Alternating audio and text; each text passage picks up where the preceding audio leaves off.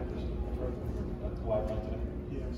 Um, And is there, not is there, but what is the challenge of playing this type of team that has a lot of youth trying to show off their, you know, trying to make a name for themselves, trying to get a roster spot next year, um, having not seen them maybe as much as you've actually did other guys?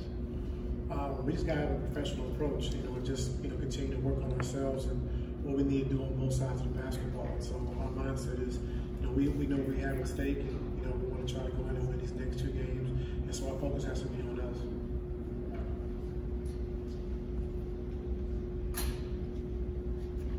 Hey, uh, Ty, good to see you. Uh, you said after the Laker game, you guys didn't like the way that you that you finished the game, and um, the way that they were denying uh, Kawhi and things like that. What do you want to see from your guys when they're on the floor um, to basically close games out better from what you what you uh, with these last two games? Um, just taking care of the basketball, getting back and getting matched up and made baskets. And then, like you said, when teams are guarding Kawhi like that, just continue to run our offense, not get stagnant. See, uh, the players that the Portland does have out there, uh, Shaedon Sharpe looks like he's going to come back and play after a couple games off and everything. Uh, obviously, top 10 pick and everything. Um, what have you seen from him over the course of the year, and what do you think he can be capable of in an elevated role? Yeah, just his growth. I think, you know, understand the NBA game. Um, he's gotten way better defensively. And then offensively, the game is slowing down for him. So he knows how to score, picking and choosing his spots, when to score, and how to score. And so just talking to Chauncey about it the last couple days, he's, he's really excited about this young kid and how he's been playing, how he's matured and grown as a player. As outside of Shaedon, uh, are there are there other players that, as that team has played over the last week or so, that you've kind of noticed and kind of stood out um, and want to be aware of? Yeah, um, man, like what, he, what he's done. You know, um, very crafty point guard. I know he came out of this year, but very crafty point guard, gets to his spots. And, um, you know, watch the game when they played against Memphis. He played really well against Ja Morant, so he's not scared, he's not afraid. And um, just seeing him develop. Hi, Ty. Happy Saturday. Um, Western Conference being so crazy bunched up this year. Why is it like that? All the injuries. Yeah, all the injuries uh, throughout the course of the season. And, you know, a lot of guys being out. You know, Zion being out, Ingram being out, Steph being out, Kawhi and PG being out, um, you know, KD being out, Booker being out. So it's just like, you know, a lot of great players just being out. And so, you know, you're missing 25, 30 games from your best, you know, one or two players.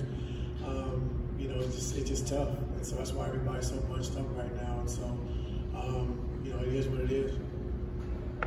Ty, good to see you. Um, what progress can you say PG has made towards next steps? I can't remember. How's the spirit? The spirit's been good. What does it mean that he's with the team? I can't hear you. What does it mean for him to be, to be with the team today? I can't hear you. What does it mean for him to be able to be with the team today? Oh, I mean, I mean, anytime you have your players, they, you know, they, they go through an injury, they, they will start coming back around again. Um, it was just good to see them. I know that there's a, a lot of uncertainty and variables that you can't control but, as a coach, but what's it like going into the postseason, whether that's a play-in or a first-round series, knowing that you have Kawhi on your side, playing at this sort of level as he has since January? Yeah, I mean, it's good to see. You know, like I said, he's playing at an extremely high level, and um, we want to keep that going. We know when he gets to the playoffs, he raises it even another level. And so, um, you know, just continue to keep doing what we've been doing. You know, my biggest thing is just um, getting better defensively, locking into what we need to do, and um, cut down on the on the breakdowns, game plan mistakes, and uh, that's what we got to get better at, especially going into the playoffs.